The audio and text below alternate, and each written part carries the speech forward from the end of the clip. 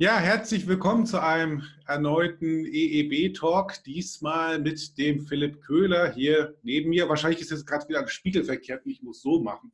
Ja.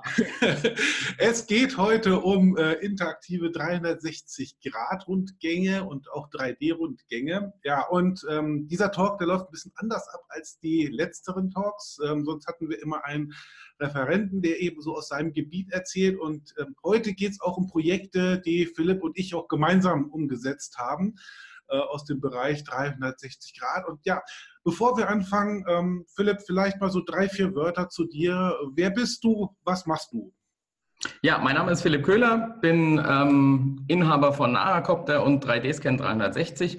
Das heißt, ähm, wir produzieren alles das, was mit, man mit Drohnen machen kann, ähm, angefangen von Luftbildern für Image und Werbung bis hin zu Vermessungen und technischen Fotografien, aber eben auch 360-Grad-Rundgänge und virtuelle Touren in 3D. Von Hause aus habe ich irgendwann mal Erzieher gelernt, habe auch einen Teil der Ausbildung mit dem Tobi zusammen gemacht und wir haben auch mal ein Jahr zusammen gewohnt und äh, Ja, und ähm, ja, haben uns dann wieder getroffen und ähm, uns für das Projekt Lutherdenkmal und für die Dreifaltigkeitskirche in Worms zusammengetan.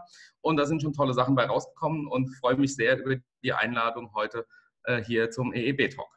Ja, sehr gerne. Also vom Grundprinzip für diejenigen, die es noch nicht mitbekommen haben, das ist ein interaktiver Talk. Wir bieten einen ja inhaltlichen Input wir werden nachher auch ganz viel zeigen. Jeder hat die Möglichkeit, über Twitter, Mastodon oder hier auch über den Chat einfach Fragen reinzubringen. Ich beobachte die Hashtags und auch den Chat. Ähm, jeder hat auch die Möglichkeit, sich einfach über die Webcam mit reinzuschalten und dann ins Gespräch mitzukommen. Es wird noch ausreichend äh, Gelegenheiten auch für Rückfragen geben. Ja, aber zuerst zu dem Thema. Ich meine, angefangen hatte alles 360 Grad, ähm, als die Technologie noch relativ frisch war, dass ich mir damals eine 360-Grad-Kamera, die Theta S, gekauft hatte mit äh, 8 Megapixel Auflösung. Heutige Verhältnisse sehr, sehr wenig. Und ähm, die Motivation, die war einfach äh, aus der kirchlichen Arbeit her, dass wir Kirchenräume haben und sehr viele Rückmeldungen von älteren Leuten im ländlichen Raum, dass die eben zu bestimmten Jahreszeiten äh, auch aufgrund mangelnder Mobilität einfach nicht mehr in der Lage waren, äh, sich Kirchen auch mal anzugucken. Und ähm, da habe ich mir überlegt, okay, wie kann man einfach diese Technologie nutzen und die Kirchenräume, die wir hier haben, äh, ja, mit in einem 360-Grad-Spektrum auch mal darzustellen.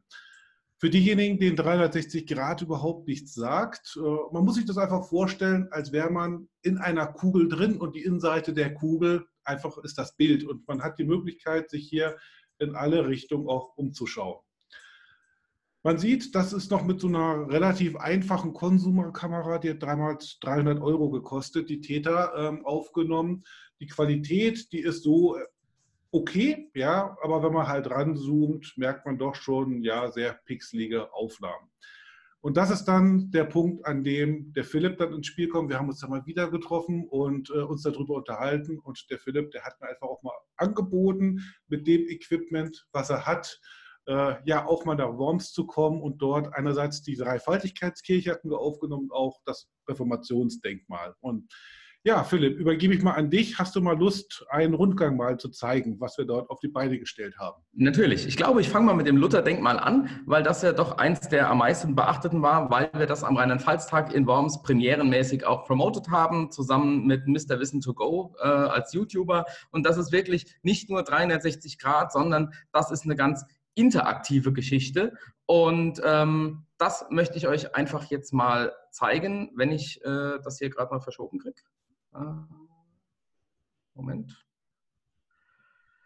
Da komme ich gerade nicht ran. Dann haben wir es doch hier. Lutherdenkmal.de, genau. Richtig, genau. Ähm, da kann jeder reinschauen. Die Drohnenflüge haben wir dazu gepackt. Das heißt, das ist erstmal das Intro. So geht's los, dass ich von Luther überhaupt mal einen Eindruck bekomme an der Stelle. Und dann kann man hier auf den Knopf drücken und dann starten wir direkt den 360-Grad-Rundgang. Ähm, der liegt dann nicht mehr auf der Webseite, sondern der liegt bei RoundMe. Das ist ein Dienstleister, der 360-Grad-Rundgänge hostet und auch die Möglichkeit bietet, einzelne 360-Grad-Fotos zu einer 360-Grad-Fototour zusammen zu verlinken. Das Schöne an RoundMe ist, 15 Panorama-Fotos pro Monat kann man dort kostenlos hosten, kann die auch verbinden und die Grundfunktionen sind hier alle kostenlos. Das heißt, wer das mal testen möchte, ähm, so dass es auch auf jedem Handy funktioniert und dass man auch das Gyroskop vom Handy nutzen kann. Das heißt, dass wenn ich mich mit dem Handy so umschaue, ich nehme es gerade mal hier in die Hand, das heißt, wenn ich dann mal so mache, dann bewegt sich auf dem Bildschirm automatisch das Panoramabild und ich muss gar nicht mit dem Finger entsprechend steuern. Dieses Foto ist das Startfoto und es dreht sich automatisch oder ich kann es eben mit der Maus entsprechend ziehen, kann es perspektivisch auch einrichten und mich dann entsprechend bewegen. Und da schauen wir doch einfach mal hin. Hier gibt es ein i, da steht schon mal drauf, herzlich willkommen. Und hier kommt dann ein Video ähm, von Mr. Wissen to Go zum Thema Lutherdenkmal in Worms. Wenn wir jetzt zum nächsten Panorama switchen wollen, dann gehen wir hier auf diesen Tropfen, auf so einen Hotspot und landen dann direkt im nächsten Bild, was dann weitere Informationen bietet. Hier ist es wieder im Video. Da käme natürlich auch ein Fotogut oder ein äh, beschreibender Infotext, je nachdem, wie man sich das aussuchen möchte. Ich kann mich auch hier im Foto in 360 Grad bewegen. Und interessant ist, wir haben das ganz früh morgens gemacht in Worms. Wir mussten auch ein paar Mal mehr ran, weil, wie man hier zum Beispiel sieht, hat uns die Sonne hier volle Granate in die 360-Grad-Kamera reingeschienen und wir mussten das ein oder andere Foto tatsächlich zu einem späteren Zeitpunkt nochmal neu aufnehmen. Und da kommen wir jetzt auch schon zu dem ersten Bereich, den man beachten muss, neben der Bildqualität. Man, es klingt ganz trivial, aber so einfach ist es dann doch nicht. Ein 360-Grad-Foto erfasst 360 Grad. Was bedeutet das? Das heißt, es ist wirklich alles drauf. Alles heißt, alles, was über mir ist, alles, was vor mir ist, alles, was rechts, links und hinter mir ist und natürlich auch das, was unter mir ist. Das bedeutet, wir haben hier sehr gute Verhältnisse gehabt in diese Richtung. Wunderbares Licht, tolle Ansicht, findet jeder Fotograf toll. Wenn wir uns allerdings umdrehen, dann haben wir hier wirklich in diesem Bereich hier große, ausgefressene Bereiche, wo keine Zeichnung mehr zu erkennen ist. Und das liegt unter anderem an der starken Sonneneinstrahlung, mit der diese Kameras auch nicht ganz gut klarkommen. Ähm, gemacht wurde das Foto mit einer sogenannten Panono Cam. Das ist eine spezielle 360 Grad Fotokamera, auch genannt der Ball. Den zeige ich hier gern mal. Sieht so aus. Hat insgesamt 36 verschiedene Kameras und eine Gesamtauflösung von 108 Megapixeln. So sieht diese Panono aus. Das ist schon eine sehr professionelle Kamera. Aber wie man hier im Bild sieht, auch da gibt es Einschränkungen. Dafür kann ich aber ein Foto machen und die Kamera, vielmehr die Software, stitcht dann diese 36 Einzelfotos zusammen. Was heißt Stitchen? Stitchen bedeutet, die näht die an den Kanten und an den überlappenden Bereichen letztendlich so zusammen, dass man ein interaktives 360-Grad-Foto an der Stelle hat. Ähm, ganz interessant an der Stelle war, dass wir eine japanische Reisegruppe hatten, die ihren Aufenthalt in Worms gesucht hat und auch nicht wirklich verschwinden wollte. Das heißt, der normale Fotograf hätte überhaupt gar kein Problem gehabt. Als 360-Grad-Fotograf brauchen wir wirklich eine rundherum saubere Umgebung und das war hier in der Tat gar nicht so einfach. Genau. Vielleicht kann ich hier mal kurz äh, mal dazwischen gerätschen, Philipp. Ähm, allein vom Planungssetting her, ähm, wenn du die Bildschirmfreigabe gerade mal kurz aufheben würdest. Genau, also allein vom Planungssetting, ähm, du hast jetzt immer die Technik erzählt, auch schon so ein bisschen, äh, ich sag mal, worauf wir achten mussten wegen Sonnenstrahl. Da würde ich ganz gerne mal ergänzen. Wir haben uns im Vorfeld ja auch sehr viele Gedanken auch über die Planung gemacht. Wir mussten erstmal Uhrzeit verabreden, wann wir uns treffen ähm, relativ früh, weil du ja auch gesagt hast aus deiner Erfahrung heraus, die Sonne, die sollte noch relativ äh, tief stehen. Du zeigst uns auch gleich auch nochmal eine ganz tolle App auf dem iPad, wo man den Sonnenstand dann ja auch nochmal verfolgen kann. Ähm, fand ich auch ganz spannend. Jedenfalls, wir alle wissen, in der Praxis läuft es immer anders, als was geplant ist. Also wir sind um halb neun dort angekommen und dann stand erstmal ein großes Auto äh, vom Bauhof von der Stadt Worms vor dem Denkmal und die Herren waren in der Mittagspause. Wir haben erstmal eine Dreiviertelstunde die Leute gesucht, herumtelefoniert, dass das Auto wegkommt. Kaum war das Auto weg, ähm, kam dann besagte japanische Reisegruppe und eine halbe Stunde später äh, kamen zwei Schulklassen mit Kindern. Und das ist halt etwas, was man, äh, ich sag mal, nicht wirklich einplanen kann, vor allen Dingen, wenn man an Räumen oder Orten ist, die man äh, nicht absperren kann oder darf. Genau, das nur mal so als Ergänzung. Hast du die App griffbereit? Die habe ich tatsächlich hier. Die mache ich auf dem iPad schon mal auf und starte dann entsprechend schon mal die Bildschirmfreigabe.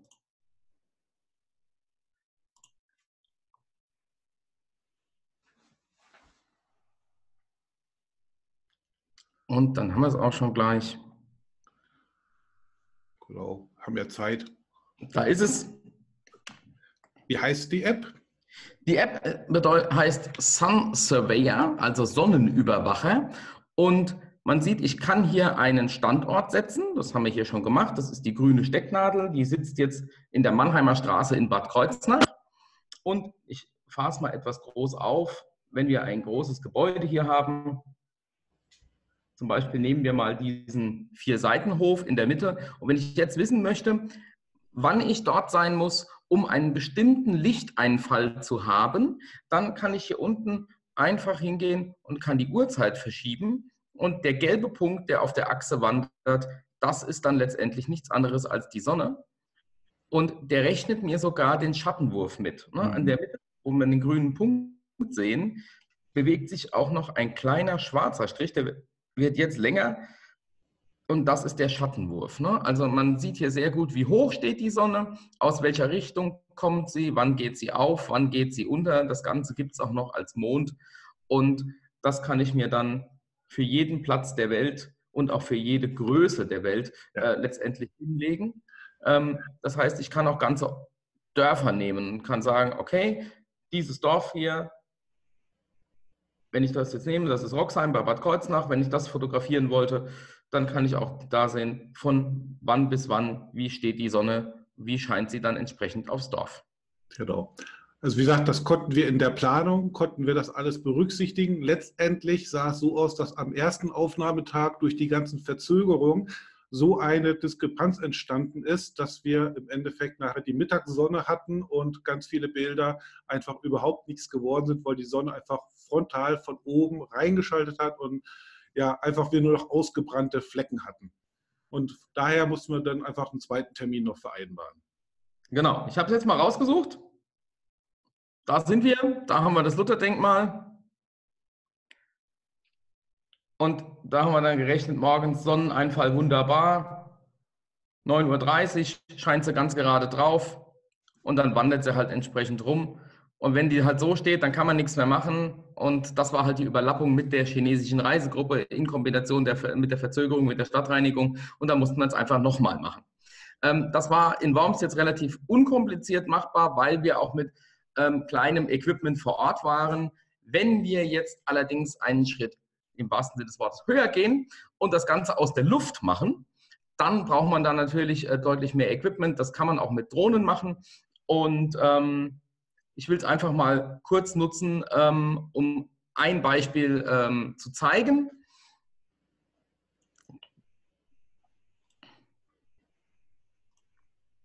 Da haben wir nämlich hier ein interaktives Stadtpanorama. Auch bei RoundMe gehostet. Und da kann ich über die ganze Stadt drüber gucken. Und das ist natürlich jetzt nicht mit, äh, das ist natürlich jetzt nicht vom Boden aus gemacht, sondern aus der Luft, wie man hier sieht. Ne? Das ist also kein Stativ unten drunter und ist nochmal mit einer anderen Kameraqualität gemacht. Was man hier sehr gut sieht, und das ist auch gleich mein nächster Praxistipp für euch, ihr seht hier so einen ganz harten Strich. Das ist der Moment, wenn ich eine Kamera benutze, die für 360-Grad-Aufnahmen zu produzieren zwei Linsen hat. Ich habe euch so eine mal mitgebracht, packen wir mal aus. Das ist jetzt eine Nikon Key Mission. Die funktioniert so, dass wir hier zwei Linsen haben. Eine Linse hier und eine auf der anderen Seite. Und jetzt für alle ein Tipp, die auch eine ganz günstige ähm, 360-Grad-Kamera haben.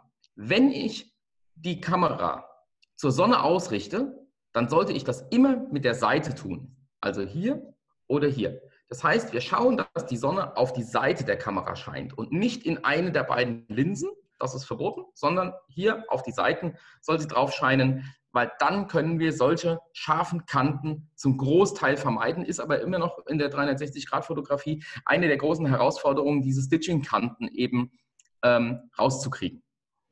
Wir sehen jetzt hier, da ist es ganz gut gelungen, aber wir haben trotzdem hier eine krasse äh, Belichtungskante drin. So sieht das Ganze halt dann aus. Ich kann natürlich, wenn ich das Mausrad nach vorne schiebe, auch ins Panorama rein. Da muss man manchmal mit Persönlichkeitsrechten und so ein bisschen aufpassen, ähm, weil wenn ein großes Panorama, dann ist alles gut. Aber wenn ich hineinzoome, dann kann es natürlich sein, dass ich Dinge ganz groß plötzlich sehe, was ich am Anfang gar nicht auf dem Schirm hatte. Das heißt, jedes 360-Grad-Panoramabild sollte vor Veröffentlichen nochmal genau kontrolliert werden, ob es nicht irgendwelche Bereiche gibt, die man nicht zeigen darf. Das okay. ist an der Stelle ganz wichtig.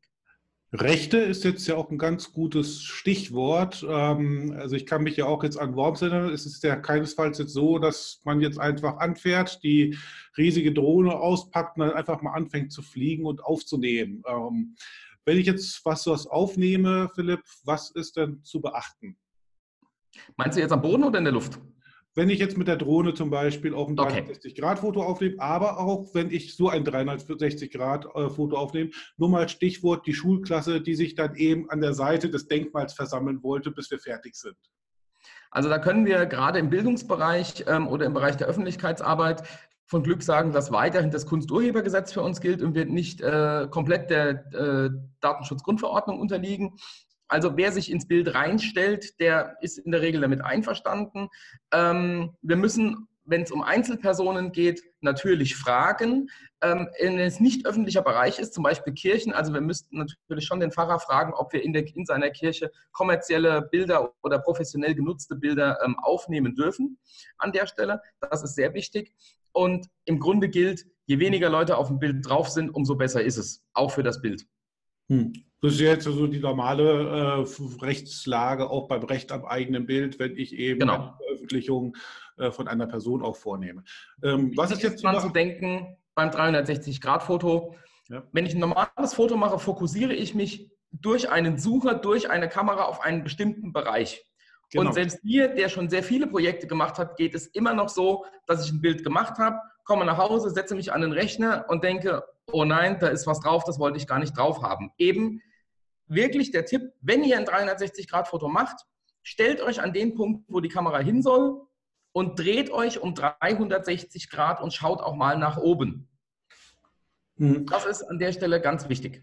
Ich habe jetzt gerade die Freigabe mal beendet. Ähm, das ist ja ein interessanter Punkt. Also es wird ja normal beim Recht am eigenen Bild auch immer mit dem Motivschwerpunkt argumentiert. Ähm, wo liegt denn bei einem äh, Panoramabild der Motivschwerpunkt? Ja, das äh, ist äh, eine sehr, sehr gute Frage. Ähm, ich war letztens auf einer Konferenz und da hat jemand 360-Grad-Fotografie als das Nonplusultra vorgestellt und hat gesagt, das wären Dinge, 360 Grad, das wäre voll super. Und er zeigt mal ein Beispiel und dann zeigt er ein Foto, wo 180 Grad eine Hauswand waren. Das heißt, ein 360-Grad-Foto muss man auch sinnvoll einsetzen. Hm. Es macht keinen Sinn, es nur zu benutzen, weil man es eben kann oder weil man die Technik hat, sondern wir müssen wissen, der Motivschwerpunkt wird danach gesetzt. Das heißt, ich muss mir wirklich bei der Aufnahme relativ wenig Gedanken machen, aber bei RoundMe zum Beispiel kann ich einen Startbildschirm einrichten. Das heißt, ich kann dem Benutzer sagen, das ist der erste Bildausschnitt, den du siehst. Und der muss halt sehr attraktiv sein. Und nochmal, es macht keinen Sinn, ein 360-Grad-Foto zu machen, wenn in 360 Grad um mich drum herum gar nicht allzu viel zu sehen ist. Das heißt, wenn ich wirklich nur ein Highlight habe, auf, meiner gedacht, auf meinem gedachten Zifferblatt, dann kann ich auch ein normales Foto machen. Ähm, der Motivschwerpunkt sollte also im besten Fall vorne, hinten, rechts, links mehrere Motivschwerpunkte sein, weil genau das ist ja letztendlich auch das, was 360-Grad-Fotografie ausmacht. Genau, okay. Ja, inhaltlich hatte, war jetzt auch ein schönes Stichwort, also es muss auch Sinn machen und da kommen wir doch jetzt einfach auch gerade mal so zur Sinnfrage, wo denn solche 360-Grad-Rundgänge äh, einfach auch ja, angebracht sind oder auch sinnvoll sind. Ja, Reformationsdenkmal hast du ja schon mal gezeigt. Ähm, wir, ähm, ich rufe das hier, hier gerade noch mal auf den Screen drauf. Und zwar Ursprung war ja einfach auch, also in Worms, das war die Zeit in der Öffentlichkeitsarbeit in Worms, ähm, es steht das oder eins der weltgrößten Reformationsdenkmäler und äh, wie man hier auch schön sieht, das Denkmal ist nicht barrierefrei. Ja, also das heißt, äh, wer im Rollstuhl sitzt oder eben nicht mit Treppen hochgehen kann, der kommt nicht an das äh, Denkmal dran aufgebaut, das Denkmal, jetzt so vom theologischen Grund her, ist nach dem Lied von Luther, ein feste Burg ist unser Gott und eben mit verschiedenen Figuren, die ja im Rahmen der Reformation auch eine Bedeutung haben. Und ähm, die Erklärungen sind in den Videos von Mr. Wissen und Goya angebracht, äh, Mr. Wissen to go. Allerdings, wie gesagt, wer nicht mehr in der Lage ist, die Treppen zu gehen, kommt dort nicht rein. Und wer eben mal nicht so nach Worms kommt, kann sich das auch nicht anschauen. Deswegen ist das einfach eine fantastische Möglichkeit, ähm, Orte begehbar und auch zugänglich zu machen. Ähm, einerseits für Leute, die es körperlich nicht schaffen oder eben geografisch dort auch nicht hinkommen. Das zweite Projekt, was wir ja gemeinsam gemacht haben, das war die, ich muss jetzt hier mal gerade suchen, die Dreifaltigkeitskirche in Worms. Genau, da ist er. Genau, das eine, das war ja die, Innen-, äh, die Außenaufnahme, Reformationsdenkmal. Das zweite, jetzt hier die Dreifaltigkeitskirche, auch als Reformationskirche. Und hier hast du uns ja auch eine, ja, im Prinzip einen Rundgang auch mit empfohlen. Oder man kommt jetzt direkt, wenn ich mich hier umdrehe, aus der Eingangstür raus oder äh, beziehungsweise in die Eingangstür rein in die Kirche und hat die Möglichkeit, über verschiedene Punkte sich in der Kirche auch zu bewegen.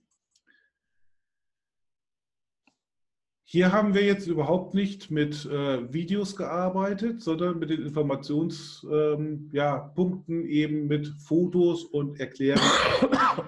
Weil jede Kirche, das kennt auch jeder, hat eine eigene interessante Geschichte und das ist auch eine ganz fantastische Möglichkeit, einfach diese ja, Geschichte zu kommunizieren und auch sichtbar zu machen. Ja, ich glaube, an dieser Stelle ähm, haben wir jetzt einfach mal so kurz erklärt, ähm, 360 Grad, was dahinter steckt, ähm, auch so ein bisschen, welche Möglichkeiten damit verbunden sind. Ich mache jetzt erstmal so die erste Fragerunde auf an die Anwesenden, auch hier in der Konferenz und im Chat. Sind bislang schon mal spezielle Fragen dort?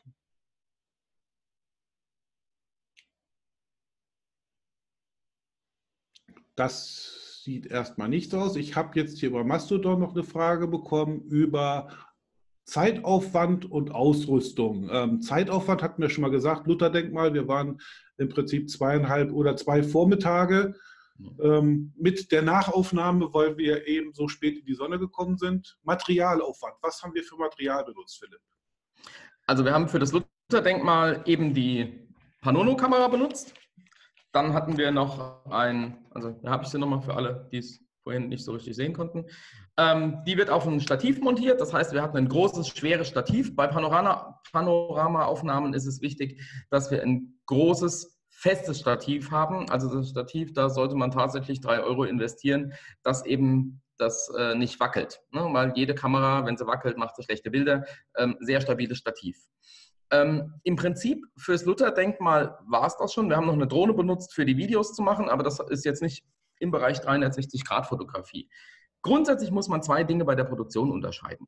Kameras, die auf Knopfdruck ein fertiges Panoramabild liefern. Da gibt es ähm, die Panono, ähm, für deutlich günstigeres Geld gibt es die Insta360 One X, das ist das neue Modell, oder es gibt die Nikon ähm, Mission, die natürlich nicht nur Video kann, sondern auch Fotos.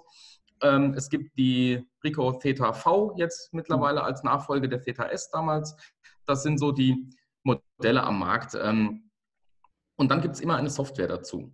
Ich kann natürlich mit jeder Spiegelreflexkamera und einem großen Weitwinkelobjektiv auch händisch 360 Grad Panoramen in sehr, sehr guter Qualität machen. Ähm, da muss man aber genau wissen, um wie viel Prozent sich ein Bild mit dem anderen überlappen muss und das Ganze muss nachher in einer Software händisch zusammengenäht werden. Das ist schon ja. sehr aufwendig, bringt aber noch eine deutlich höhere Qualität. Da erinnere ich mich doch so, es gibt auch so diverse Apps für Smartphones, äh, wo man eben 360-Grad-Panoramen äh, zurechtschnippeln konnte. Da muss man ja immer so die Fotos nehmen und zurechtdrücken, dass es dann im Endeffekt passt. Ja, das, genau. genau. Da haben wir eine Frage. Ja, ja, der Michael, der fragt gerade DSGVO und die Plattform. Ähm, und ein, der Horst schreibt noch dazu, und ein Nodalpunktadapter bietet sich auch an für Kameras. Gut, also ich glaube, DSGVO und Plattform, vielleicht da nochmal zwei Worte dazu. Also grundsätzlich ist es so, dass ähm, die DSGVO ja nicht per se Dinge verbietet, sondern ich muss es nur erklären. Das heißt, wenn ich auf AroundMe verlinke oder AroundMe zum Beispiel nutze, dann muss ich das in meiner Datenschutzbestimmung entsprechend darlegen, dass der äh, Nutzer darüber informiert ist. Es gibt aber auch eine andere Variante. Ich muss es nicht bei RoundMe hosten, sondern es gibt ein Programm, kostet 49 Euro, Panorama Studio Pro 3. Mit dem arbeite ich auch. Und da kann man ähm, einfach 20, 30 bis zu hunderten Fotos zusammen reinpacken. Das näht die dann zu einem Panorama zusammen und exportiert es fertig für einen Upload auf einen FTP-Server. Ähm, dann so, dass ich es in meine Homepage nativ einfach einbinden kann, ohne dass ich auf einen anderen Serviceanbieter ähm, angewiesen bin. Hm. Das geht da auch. Dann muss ich mir allerdings noch ein Programm zulegen, mit dem ich diese Infopunkte bauen kann, die Videos. Das macht die Sache datenschutzrechtlich einfacher, vom Produktionsablauf her deutlich komplizierter. Ja, und für den Rest gilt eben normal das Recht am eigenen Bild, also sprich, was die Veröffentlichung äh, der Bildnisse eben an, an betrifft. So, dann der äh, Kommentar von Horst. Ein Nodalpunktadapter bietet sich auch an für Kameras. Ich gehe jetzt mal davon aus, du weißt, was ein Nodalpunktadapter ist. Ja, und ich habe keinen. ähm, ein Nodalpunktadapter ist ein Hilfsmittel, ähm, mit dem man äh, den Mittelpunkt der Kamera ganz gut bestimmen kann. Da wir aber meistens mit entweder automatisiert fliegenden Drohnen dann arbeiten oder eben mit Kameras, die alles auf einmal schießen und sehr wenig mit äh, Spiegelreflexkameras Panoramen erzeugen, ähm, spielt das für uns ähm, gar nicht so die große Rolle. Ähm, Panoramafotografie mit Spiegelreflexkameras ist wirklich noch, noch mal eine Wissenschaft für sich. Ähm, wer Spaß dran hat, kann sich gerne mal ähm, die Webseite von zum Beispiel Kilian Eisenegger anschauen ähm, und da sind Gigapixel-Panoramen drin. Das heißt, die haben mit einem riesen Teleobjektiv tausende von Fotos gemacht, äh, gibt es aus den Schweizer Alpen ganz tolle Sachen und da braucht man sowas auf jeden Fall, eine Menge Erfahrung und einen riesen Rechner. Okay, weil das wäre jetzt ja auch eine spannende Frage. Ich habe davon jetzt noch wenig Ahnung, möchte damit jetzt aber anfangen. Ähm, ich sage mal so, wo kann ich mich informieren? Die Links können wir nachher zusammenstellen, in die Beschreibung noch mit reinpacken. Und ähm, ich sage mal, womit muss ich rechnen, was muss ich ausgeben für eine anständige 360-Grad-Kamera, ähm, ja, je nachdem für den Konsumer oder den eben Profibereich. Genau, also ich fange mal, ähm, ich würde die Spielreflexkamera ein bisschen ausklammern, weil das, ähm, wenn ich so einfach einsteigen will, doch sehr diffizil ist. Wenn wir mal oben einsteigen, dann sind wir im Fotobereich bei der Panono. Die lag mal bei 2500 Euro, liegt jetzt aktuell so bei 12 bis 1500 Euro hat aber einen entscheidenden Vorteil, 108 Megapixel auf einen Klick. Hat aber auch einen ganz entscheidenden Nachteil, kann kein Video. Daher halb gut. Was es als nächstes gibt, wäre zum Beispiel die Nikon Chemischen, da liegen wir so zwischen 200 und 300 Euro, kann Fotos, kann 4K-Video, sogar mit 24 Frames pro Sekunde, ist qualitativ okay, mehr aber auch nicht. Was ich im Moment so als letzten Schrei tatsächlich ähm, empfehlen würde, ähm, ohne dass ich hier irgendwelche Interessenskonflikte hätte oder Geld dafür bekomme, wäre die Insta360 One X. Ähm, die liegt so zwischen 400 und 500 Euro mit Zubehör und die macht wirklich sehr, sehr gut stabilisierte 360-Grad-Videos. Da experimentieren wir gerade, die unter die Drohne zu hängen und dann in der Luft ein 360-Grad-Video zu haben. Ähm, die macht ordentliche Fotos und das wäre so die Empfehlung für den Einstieg. Das heißt, sinnvollerweise so mit roundabout 500 Euro mit Stativ und allem drum und dran bin ich dabei. Okay, also ich gehe mal davon aus, du gibst mir nachher einfach noch so ein paar Links auch für die Inhalte, wo ich nachgucken kann und dann, wo ich mich inspirieren ja. lassen kann, dann kann man das noch in die Beschreibung mit rein tun. Genau. Ja, super, klasse. Ähm, gibt es denn jetzt an dieser Stelle irgendwie noch Rückmeldungen, Fragen, Kommentare, Ergänzungen? Das sieht auch nicht so aus. Ähm, dann äh, wäre ja noch ein Punkt, was wir besprechen, also was mir oft begegnet, wenn ich über 360 Grad Kameras spre äh, spreche oder auch über die Projekte, dass von vielen Personen ähm, immer noch so die Begriffe 360 Grad und 3D-Rundgang äh, noch so durcheinander geworfen werden. Oder, ja, wir haben auch einen 3D-Rundgang. Ähm, Und dabei handelt es sich äh, um einen 360-Grad-Rundgang, wie es bei Round V. Du hast gesagt, du machst ja auch was im Bereich 3D-Rundgänge. Was ist denn der Unterschied und kannst du uns da vielleicht den Unterschied auch mal zeigen? Ja, klar. Also ähm, Steve Jobs hat immer gesagt, there's one more thing. Und ähm, auch, auch hier ist es so, ähm, 360 Grad Rundgänge sind wirklich mit kleinem Geld ähm, realisierbar. Aber ich habe immer den Nachteil, dass ich mich genau entscheiden muss, wo setze ich den Punkt, wo mache ich das Foto. Und wenn jemand den Wunsch hat, so zwei, drei Meter weiter sich was näher anzuschauen, dann geht das halt nicht. Das heißt, man ist da ein Stück weit limitiert. Und ähm, ich habe mal ein Beispiel mitgebracht ähm, aus England. Und das sind äh, dann 360-Grad-Rundgänge. Und ich mache jetzt mal die Bildschirmfreigabe auf. Ähm, das ist nicht England, das ist Australien und das ist St. Paul's Cathedral. St. Paul's Cathedral im 360-Grad-Foto. Mhm. Das heißt, bis jetzt sind wir mal, außer dass die Qualität sehr gut ist, trotz des Lichteinfalls, noch nicht weiter wie im 360-Grad-Bereich. Aber in der Dreifaltigkeitskirche konnte ich jetzt an den Altar hier hinspringen. Hier ist es so, dass ich jetzt laufen kann. Ich kann also mich wirklich Meter für Meter vorwärts bewegen, kann durch die Bänke gehen, kann mir Dinge näher anschauen, die mich besonders interessieren. Das ist der blaue Kreis, das ist deine Maus, ne, wo du den Der Punkt blaue Kreis ist meine Maus, richtig und damit kann ich durch die ganze Kirche laufen. Und diese Daten, die wir hier haben, sind nicht nur 360 Grad Fotos, die irgendwie aneinander gebaut wurden als Tour, sondern das sind echte 3D-Daten. Das sieht man daran, dass es hier unten zum Beispiel so ein Symbol gibt. Und wenn ich da drauf gehe, dann steht da View Dollhouse.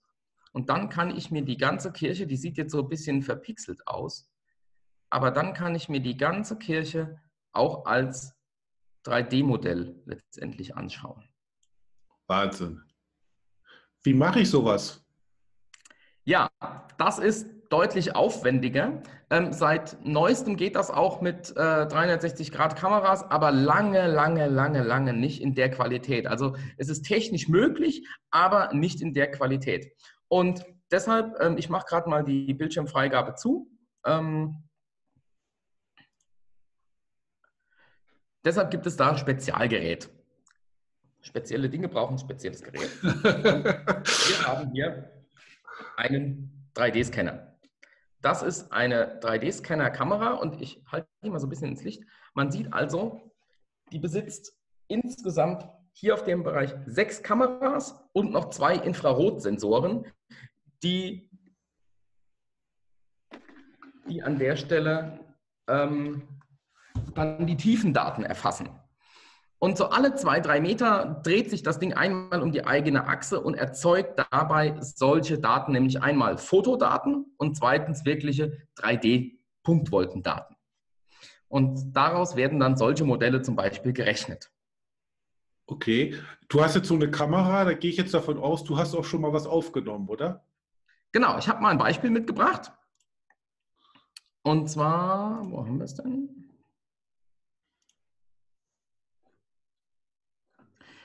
Aufgenommen haben wir zum Beispiel hier, ich gebe es mal frei, ganz in Rheinhessen war die Sparkasse. Und die Sparkasse, die haben eine neue Filiale eröffnet. Bildschirm kann jeder sehen, ja? Ja. Und da betreten wir einfach mal den Innenraum. Dauert einen klitzekleinen Augenblick. Und da haben wir wieder das 3D-Modell. Es gibt auch eine kleine Anleitung für den Benutzer und das Ganze funktioniert natürlich in jeder Webseite, auf jedem Smartphone, ähm, auf jedem Tablet.